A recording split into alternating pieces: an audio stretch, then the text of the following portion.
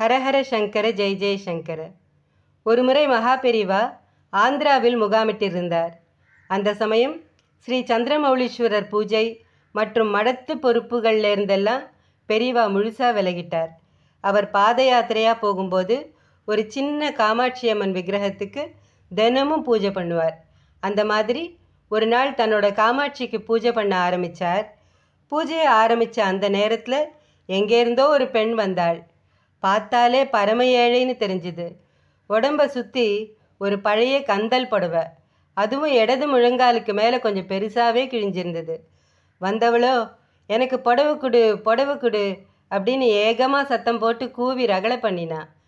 பூஜை சமயத்தில் வந்து இப்படி கத்தி ஊரை கூட்டுறாளே. இந்தாம்மா இப்படிலாம் கத்தக்கூடாது. போயிட்டு அப்புறமா வா அப்படின்னு சொல்லி சிஷ்யர்கள் அவளை விரட்ட ஆரம்பித்தா ஆனால் அவள் போகிற மாதிரி இல்லை. எனக்கு புடவை கொடு புடவை புடவை கொடு. சிஷ்யர்கள் அவளை லட்சியமே பண்ணலை. அந்த பெண் பெரியவாளையே பார்த்து கத்தின்னு இருந்தா பூஜை பண்ணிட்டு இருந்த பெரியவா அமைதியாக கொஞ்ச நேரம் அவளை பார்த்தார். சிஷ்யரை கூப்பிட்டார். போய் ஒரு பட்டு புடவையும் அதோட ஒரு ரவிக்க துணியும் கொண்டு வா. சிஷ்யர் கொண்டு வந்ததும் அதை ஒரு தட்டில் பழங்களோட வச்சு அவகிட்ட கொடுத்தார். புடவையை மட்டும் எடுத்துட்டு அந்த பெண் படுவேகமாக போயிட்டா.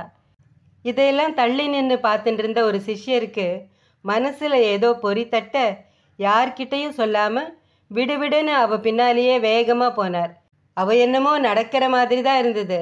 ஆனால் அவள் பின்னாடி நடந்த இவர் நடக்காமல் வேகமாக ஓடினார். நிறைய மரங்கள் அடர்ந்த வனப்பிரதேசம் போல வந்ததும் முன்னாடி போனவளை திடீர்னு காணும். இவர் சுற்றி சுற்றி தேடுறார். திடீர்னு அவரோட கன்னத்தில் யாரோ பளிர் பளிர்னு அரைஞ்சா மாதிரி இருந்தது. அங்கேயே மயக்கம் போட்டு விழுந்துட்டார். கொஞ்ச நேரம் கழித்து எழுந்து தட்டி விட்டுண்டு எப்படியோ பெரியவா கிட்ட வந்து சேர்ந்தார். உள்ளே நுழைஞ்சவரை பார்த்த பெரியவா சிரிச்சுண்டே ஏண்டா புடவை என்னாச்சுன்னு பார்க்க போனியா? நன்னா பளிர்னு வாங்கிண்டியா குரல்ல கிண்டல். பேந்த பேந்த முழிச்சார் சிஷ்யர்.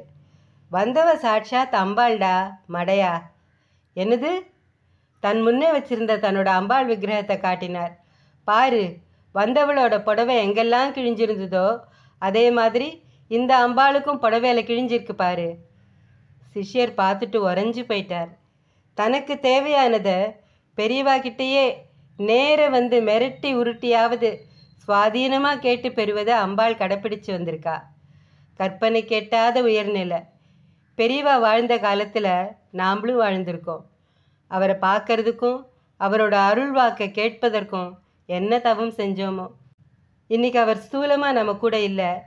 ஆனால் அவர் செஞ்ச அதிசயங்களை படிக்கிறச்சேயும் கேட்கறச்சேயும் அவர் பக்கத்தில் இருக்கிற ஒரு உணர்வு நமக்கு கிடைக்கிறது.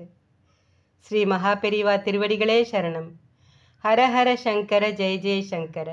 காஞ்சி சங்கர காமகோட்டி சங்கர.